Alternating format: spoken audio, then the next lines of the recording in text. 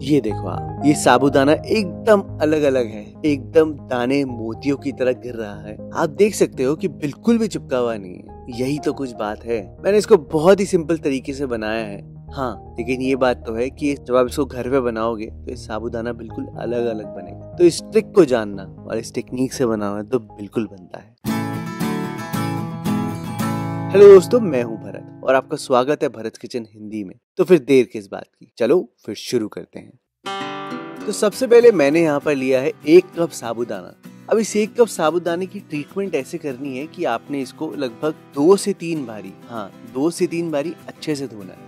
अब ये देखो, जब हम पहली बारी पानी डालेंगे तो ये पानी बहुत वाइट हो जाएगा। खैर, यहाँ पे ऐसा कुछ नहीं है कि एक्सेस स्टार्च निकालना है या ऐसा कुछ करना है, क्योंकि साबुदाने का आप जितना धोगे, उतनी बार पानी ये वाइट होगा ज़रूर। अभी सिर्फ़ ऐसा है कि साबुदाने के ऊपर हल्का हल्का साबुदाना एक्स्ट्रा लगा हुआ होता है। बस वही निकाल रहे हैं, और ज़्यादा कुछ नहीं कर रहे। और आपको करना भी सिर्फ़ यही है कि आप पानी डालना, उसको अच्छे से वॉश करना और पानी को ड्रेन आउट कर देना। फिर आप पानी इसमें नेक्स्ट टाइम डालना, फिर वॉश करना और ड्रेन आउट कर देना। ऐसा दो तीन बारी करने के बाद आप देख सकते हो कि ये है साबुदाना मैं इसमें और पानी बहुत थोड़ा सा डालूँगा, बहुत थोड़ा सा तो इतना धोने के बाद नीचे पानी अपने आप ही सेटल डाउन हो चुका है है ना? आप यहाँ पर देख सकते हो। अब इसमें थोड़ा सा और पानी डालूँगा और इसको रेस्ट करने के लिए छोड़ दूँगा।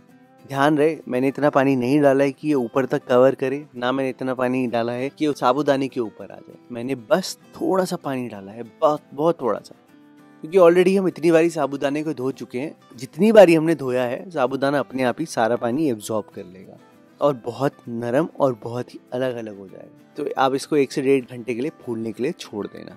तब तक हम यहाँ पर बाकी चीज़ें तैयार कर लेते हैं। अब साबुदाना खिचड़ी बनाना तो बहुत आसान है। आपको बेसिकली दो तीन हरी मिर्चें चाहिए, दो टमाटर चाहिए। मूंगफली ली है मैंने यहाँ पर, धनिया चाहिए होगा आपको और अदरक। बस आप टमाटर को ऐसे एकदम रफली चॉप कर देना। और जो अदरक और हरी मिर्चें हैं, उनको एकदम फाइनली चॉप कर देना। धनिया को आप वैसे भी एंड में डालना है गार्निशिंग के लिए, और इनके अलावा आपको बस आलू चाहिए मैंने यहाँ पर दो आलू लिए हैं और उनको बड़े बड़े पीसेस में काटा। अब यहाँ पर डेढ़ से दो घंटे के बाद, मैं वैसे डेढ़ घंटे बाद ही कर रहा हूँ। आप ये देख सकते हो कि साबुदाना कितना अलग अलग है। खैर अलग अलग तो है ही, लेकिन क्या है, सच में पानी एब्जॉर्ब कर चुका है। आप ये देखो, कितना सॉफ्ट है साबुदाना, है ना? बहुत बढ़िया। अब जब आप ऐसे बनाओगे तो साबुदाना एकदम अलग अलग बनेगा। खैर अब आपको ये प्रूव करने के लिए कि साबुदाना अलग अलग बहुत आराम से बनेगा। मैंने यहाँ पर नॉन स्टिक पैन नहीं लिया है। मैंने यहाँ पर एल्यूमिनियम की कढ़ाई ली जी हाँ इस कढ़ाई में मैं बनाऊँगा और आप देखना साबुदाना का रिज़ल्ट बहुत बढ़िया आएगा। तो सबसे पहले काम आपने करना है कि इस कढ़ाई में आपने देसी घी डालना है और हम यहाँ पर मूंगफली को थोड़ा सा भून लेंगे। थोड़ा सा रोस्ट करेंगे। बेसिकली जब तक ये चटकना शुरू नहीं कर देती, तब तक हम इसको यहाँ पर रोस्ट करेंगे। तो ध्यान रहे, आप इसको स्टर करते रहना और जब तक ये चटकनी शुरू नहीं हो जाती, तब तक आप इसको यहाँ पर पका लेना।